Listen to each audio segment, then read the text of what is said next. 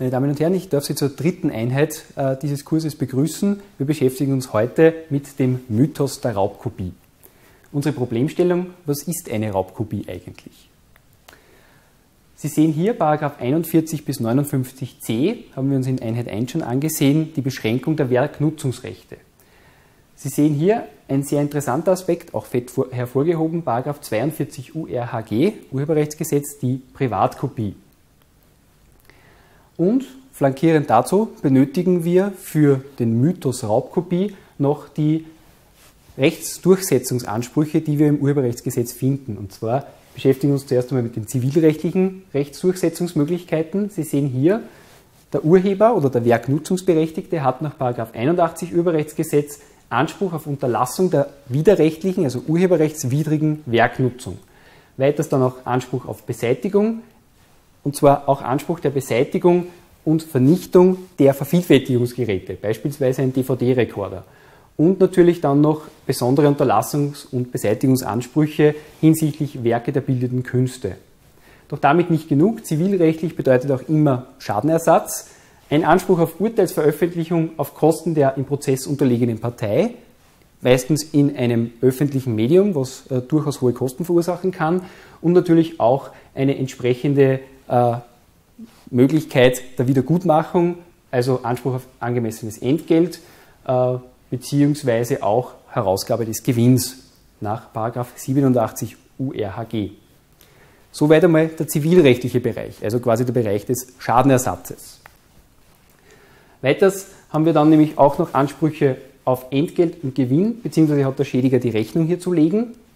Der Berechtigte kann weiters auch eine Auskunft über den Hersteller und den Verbreiter verlangen und natürlich kann hier auch, sehr wichtig, eine einstweilige Verfügung erlassen werden. Was bedeutet eine einstweilige Verfügung? Diese finden Sie im Exekutionsrecht in der österreichischen Rechtsordnung und hier ist zu sagen, dass äh, noch vor der gültigen Gerichtsentscheidung eine Sicherungsmaßnahme getroffen werden kann. Zum Beispiel, dass sofort die Nutzung des Werkes zu unterlassen ist. Äh, hier gibt es vereinfachte Prüfungsverfahren, damit man hier sehr schnell zu einem Schutzergebnis kommt. Wie gesagt, damit nicht genug. Wir haben uns hier jetzt mit dem Teil äh, Zivilrecht, Schadenersatzanspruch, auch einstweilige Verfügung äh, beschäftigt. Flankierend dazu gibt es noch strafrechtliche Bestimmungen. Wichtig zu sagen, diese Bestimmungen sind gerichtlich zu ahndende Strafbestimmungen. Keine Verwaltungsstraftatbestände, wie zum Beispiel in der Straßenverkehrsordnung, sondern wirklich über das Gericht, also was wir sonst primär vom Strafgesetzbuch erkennen. Diese Eingriffe nach 91 Urheberrechtsgesetz sind mit Freiheitsstrafe bis zu sechs Monaten oder mit Geldstrafe bis zu 360 Tagessätzen zu bestrafen. Das ist jetzt der Strafrahmen.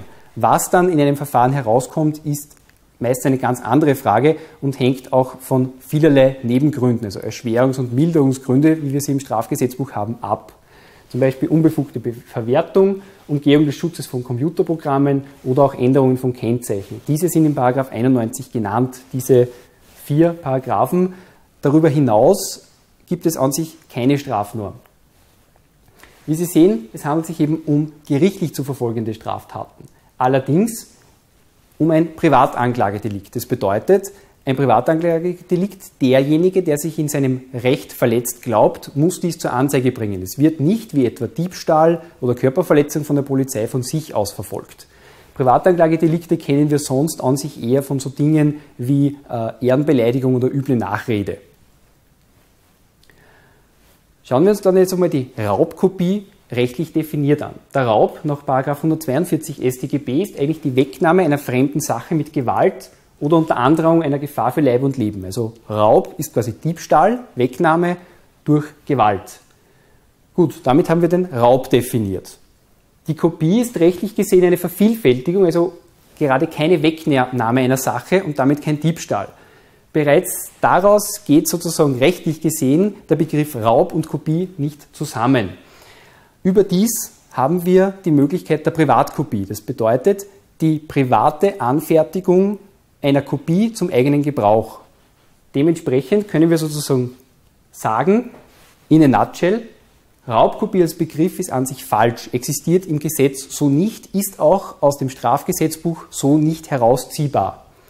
Das Urheberrecht sieht natürlich zivilrechtliche und sogar strafrechtliche Konsequenzen und strafrechtliche Konsequenzen nur in sehr einfachen, in einem sehr eingeschränkten Bereich vor.